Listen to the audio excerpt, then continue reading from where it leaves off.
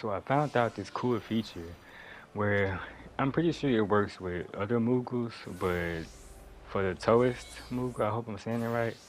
If you bring them together, they start dancing. And it, it's just this video is basically just a couple clips of you know different scenarios showing that when they near each other that they can actually dance together. And there's going to be another clip where my friend Mike he bring he he summons his other minion, which is like the you get from a wedding, and it it dances too. So it's pretty much with every Moogle. But I just thought that was a cool feature, and I, I noticed a lot of people didn't know didn't notice. So just made a video to show.